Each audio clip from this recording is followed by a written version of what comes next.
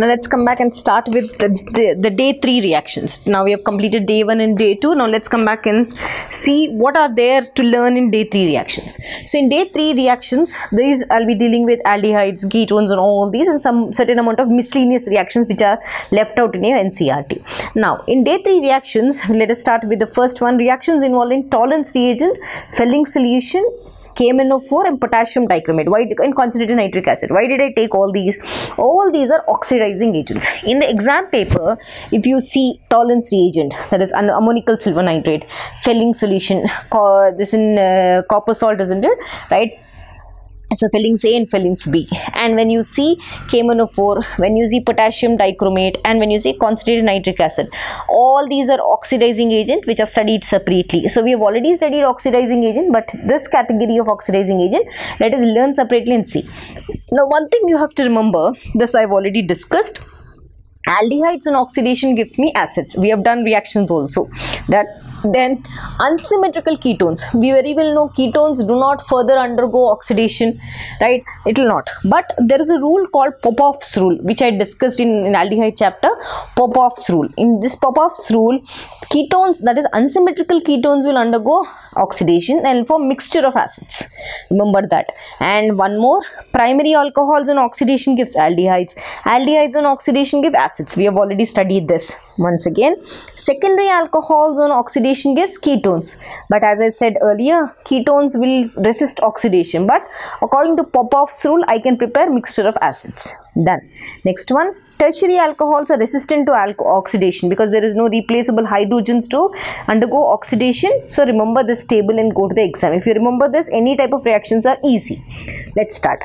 Now you have in your aldehyde chapter this equation. What is this equation? Basically they're treating aldehyde with Tollens reagent which is going to form silver mirror test. So if you see this complex what is this complex? This is called Tollens reagent.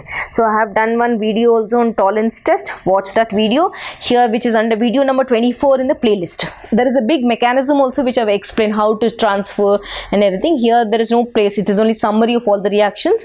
So you can go to aldehyde playlist and watch this video under video number 24 what is this reaction? This reaction is reaction with Fehling's solution Fehling's A and Fehling's B.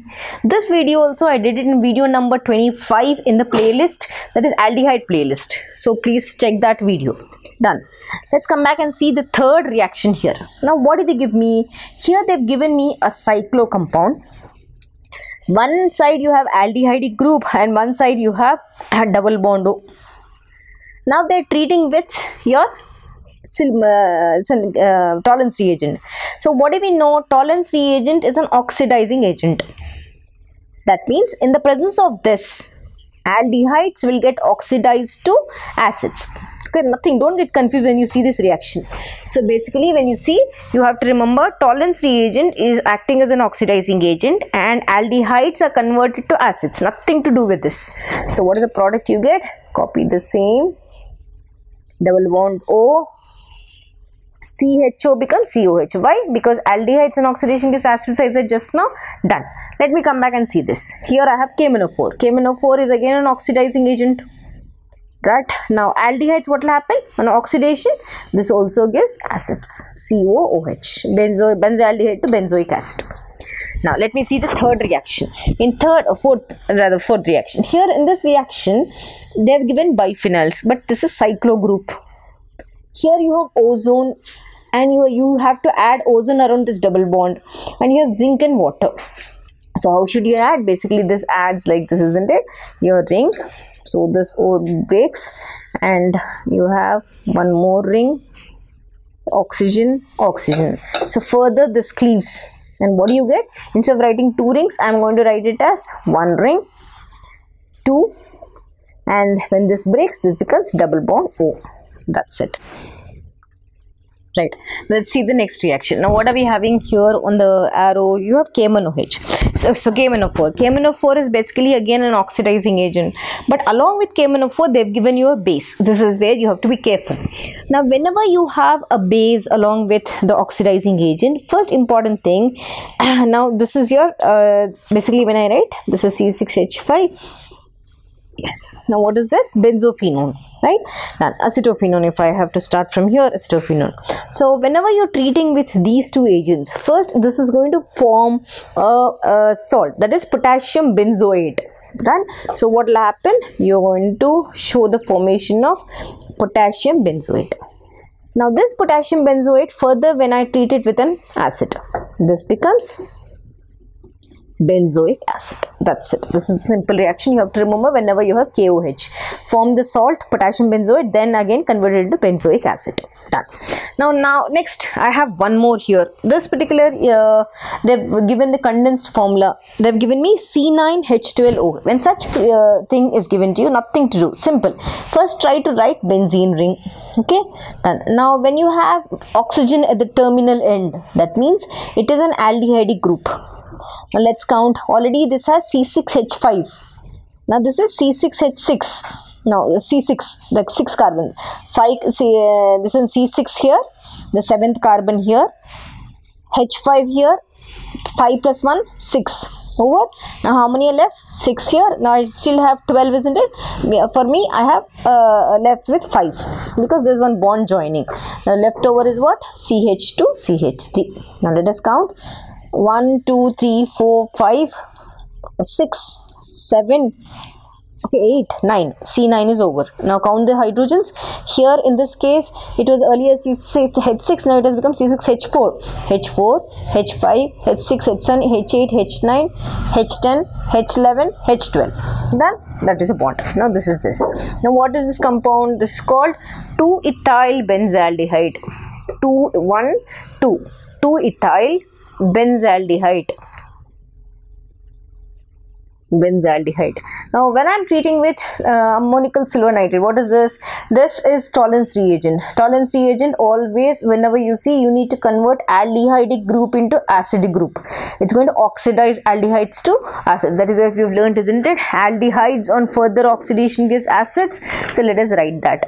So now take this compound. You wherever there is aldehyde try to make acid and this is like that only ch2 ch3 okay done. Now to this aldehyde now what what else is left? This is going to precipitate out as ag silver. This is your silver mirror test so you get this is silver mirror. Now what is this compound called? This is called 2 ethyl what is this? Benzoate. Okay this is C, CO minus also you can write isn't it? If you're writing this as Ag plus you can write CO minus also not a problem to ethyl benzoate.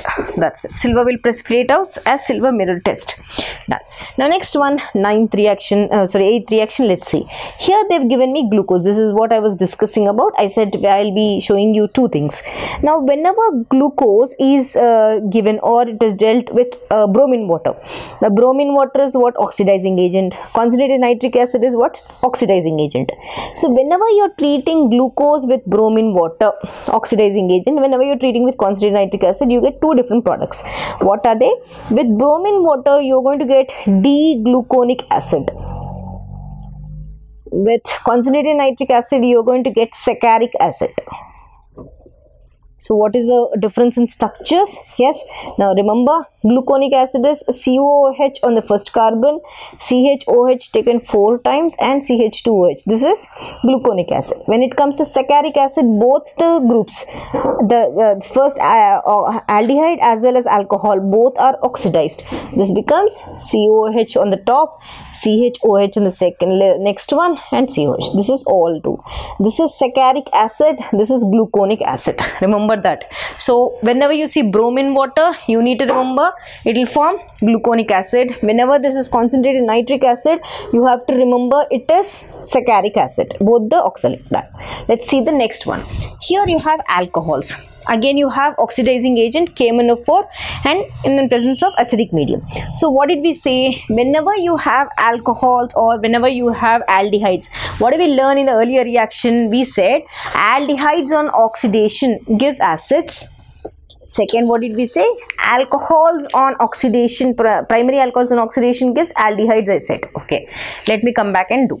Now i have the concept. Alcohols on oxidation gives aldehydes. Remove this hydrogen from here and rcho further aldehydes on oxidation gives me acids but ketones will not give me isn't it? So this is the power of this KMNO4 as an oxidizing agent. Let me start the next one. Again I am given alcohol again there is oxidation. Again this potassium dichromate. All these are oxidizing agents. Nothing to get confused. But here in the presence of acidic medium. Now what should i do? As soon as i see this one or this one i have to remove this hydrogen and make it alcohol. Sorry aldehyde. Done. So this is your reaction. Now water is as, as usual there now, let us see this reaction. This was given in one of the board papers also. I did this in one of the board paper. Now what happened? They've given me your uh, one two three propyl benzene. Alkyl group is present.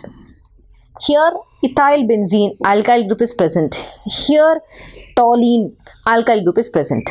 Now in this particular thing everything is treated with KMNO4 okay as soon as you see KMNO4 comfortably you say ma'am aldehydes will get oxidized to alcohol sorry and alcohols will get oxidized to aldehydes aldehydes to acids done. But here there is no alcohol there is no aldehyde what should you do? But important thing you have to remember there is one KOH given to you. Right when you have KOH given to you first important thing as soon as you get KOH irrespective of the size of the alkyl group it will get converted to COOK irrespective of the size. Let it be ethyl this one whatever it is if KOH is there. This potassium formate. Now after this potassium formate they're going to treat it with acidic medium H3O plus or H2SO4 both acidic medium. Then immediately this potassium benzoate it gets converted to benzoic acid that's it. So remember this if you see KOH try to make it potassium uh, benzoate and then further to benzoic acid. Now if I have to see the next set last two reactions of this topic. Now again they've given me alkyl group but here KOH is missing. Then what should you do? KMNO4 is an oxidizing agent. It will try to oxidize the alkyl group. Then what do you get? You're going to convert it into benzoic acid and the uh, the leftover carbon comes out as carbon dioxide. This is the reaction. Done. So now toluene is given to me. Here again they've given me KOH when I see this KOH blindly irrespective of the alkyl group I'll be writing as COOK potassium benzoate. Further this is treated with an acid I said or sulfuric acid.